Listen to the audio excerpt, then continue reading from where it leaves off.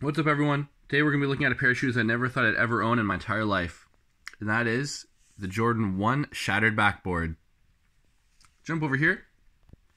Take a look at a pair that is out of the box. Uh, this is arguably smaller than this pair here, which is a size 4, of course. And the ones we're looking at today, size 2. So, let's go ahead and uh, take a look at the shoe. If you've seen my video, um, which was kind of like a, a, joke a bit because there was a talk of like you know the bread's coming back this year. So i did like you know ladies and gentlemen this is your 2019 bread video kind of idea.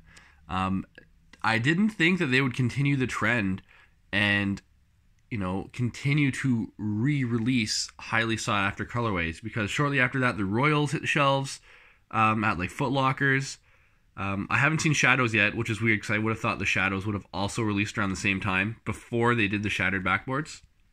But I am not complaining. So if you haven't seen this video, we'll do a quick little overview of this guy here.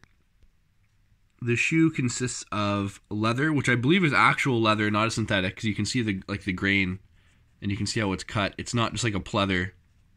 And uh, nylon. So the same material that they use on the tongue is what they use on the toe box.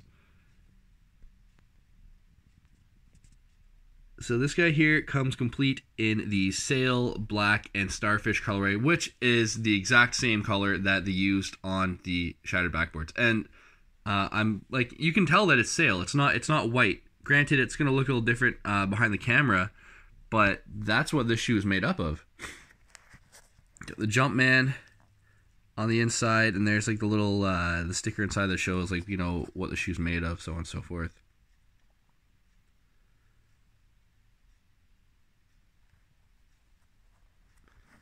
One interesting little thing that people will probably not pay attention to at all, but I will bring it to you, is the fact that it's actually a Sky Jordan. Because the shoe does not have an air unit, and that's where, of course, Air Jordan comes from. So, due to the fact that there's no air unit inside, it's the Sky Jordan. And if you go back to 85 when the ones first released, the kids were actually known as the Sky Jordans because they did not include the air unit in the kid shoes. So a little fun fact for you guys there little pull tab on the back, which you know, I don't say I'm not to say it's to ruin the shoe. Um, if that wasn't there, uh, it would probably look a little more seamless. If you really wanted to and you were picky, you could probably take a seam ripper uh, and just like delete that. But you know, practicality wise, it's probably going to be beneficial to have that on there, especially if your little one uh, is kind of fussy. You can probably just you know um, open up the Velcro on the side because of course that's how the shoe opens up. Velcro on the side gives you a little more of a, a wider opening, and that'll definitely assist you putting that on there.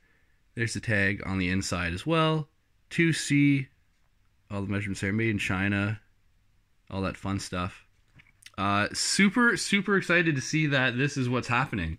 Uh, because again, myself, I didn't think I'd ever own a pair because I wasn't going to be uh, shelling out, you know, like thirteen hundred dollars for someone's used pair or going on Goat or Grailed um, or StockX and getting stuck with all the duties. Uh, that wasn't going to happen. So instead, uh, I got the tip off that these were on Nike, and I jumped on it before they disappeared because I that's probably going to happen really soon.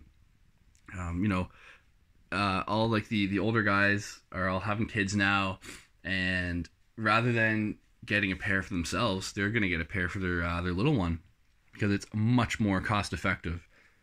At 50 bucks, yeah, why not?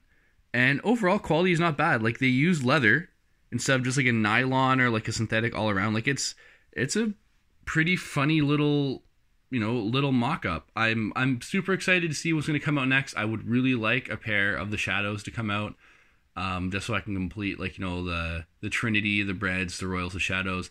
This was a complete surprise to me. Uh, there's an all white pair right now on Nike. Um, so for those of you that like do customizations, I would jump on that right now because I was thinking about even doing a top three colorway uh, and having to get an extra pair of um, breads and royals and mix matching them. Uh, you know, get the white pair. That's that's easy. That's an easy little weekend project to do. Like that's super simple. Super super cool little shoe. Um, again, I was surprised that these were released. Uh, I'm sure there's some of you that didn't even know that these are out right now.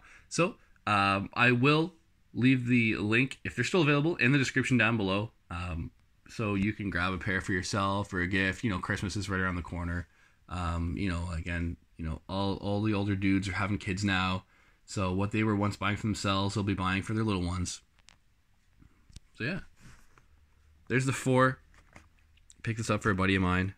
Um, you know, it's there's the divide between like super like super small and super cute, and then you get like the biggest size available, which would be the four. Before you get into, uh, I guess, leaving like crib bootie and going to infant, which would be like a five C, um, and that would be less of a crib bootie, and it would have more of an actual like sole on it, uh, and be a little little harder uh, shell shoe, but nonetheless, super cool.